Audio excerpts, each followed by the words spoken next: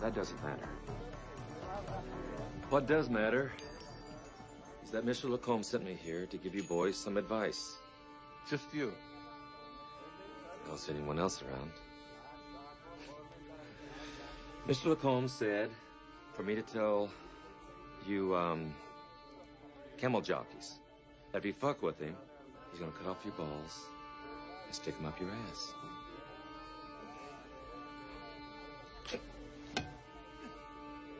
You guys eat this shit? You're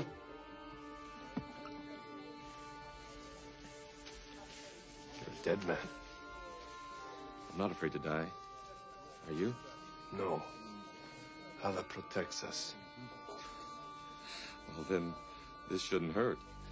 Or this.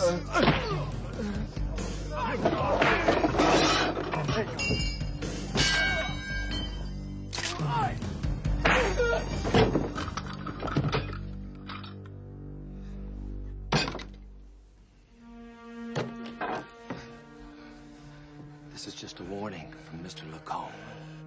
You are fucking dead.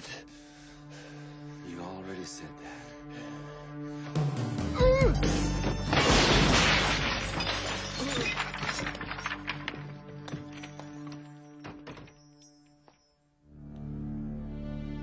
You!